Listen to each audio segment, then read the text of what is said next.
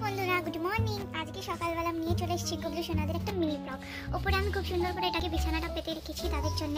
এবার তাদেরকে স্নান করিয়ে দেবো। বন্ধুরা, এদের জামা, সাজ আর আয়নাটা আমি এতে সাজিয়ে নেব। এবার তাদেরকে স্নান করাবো। চলো তাহলে স্নানের জল রেডি। এই জলেতে এবার তুলসী পাতা, ফুল, ঝোড়ো চন্দন চন্দনটা আমি জলেই দিয়ে দেবো। গোলাপ জল আর একটু গঙ্গা জল। রাধা কৃষ্ণ আবার স্নানই বসো। কৃষ্ণ,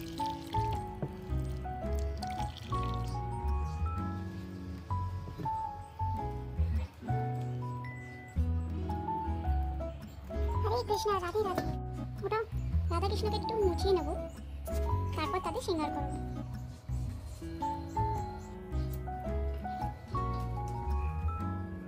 তাহলে বন্ধুরা, আমার রাধা রানী কেমন লাগছে বলো তো কমেন্টে তাহলে আমার কৃষ্ণ ঠাকুর বাঁশিটি নিয়ে রেডি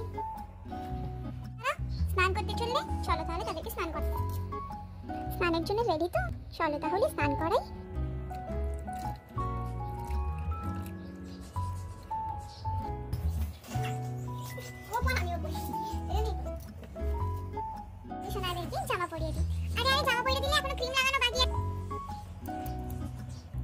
একদম সুন্দর ফর্সা ফর্সা করে দাও। চলো ক্রিমের মালিশ হয়ে গেছে, এবার জামাটা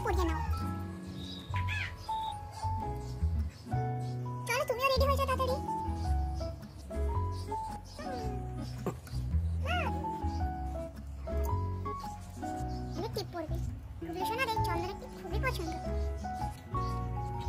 আমার গুবলু সোনারা কেমন লাগছে? কমেন্টে কিন্তু জানাবে বন্ধুরা। সবাইকে সুন্দর করে সাজিয়েছি। গাড়িটাকে সাজাবো না এমন কি হতে পারে। তো বন্ধুরা, তারা রেডি হয়ে গেছে। এবার খাওয়ার আমি ফুল দিয়ে তাদেরকে সাজিয়ে দিলাম। রাধা কৃষ্ণকে হলদে আর হলদে মিক্স সুন্দর করে ফুল দিয়ে সাজিয়ে দিচ্ছি। দেখো তো বন্ধুরা, ফুল দিয়ে সাজানোর পর তারা আরও সুন্দর না লাগছে?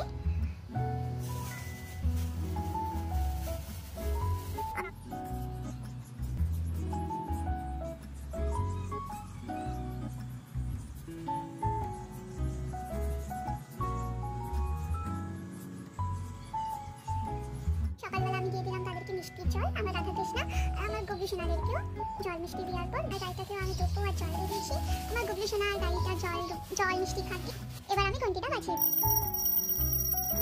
মিনি ব্লগটা কেমন লাগল কমেন্টে? সকালবেলা রাধা কৃষ্ণ নয়, আমি আমার সব ঠাকুরদেরকেই পুজো করে দিচ্ছি।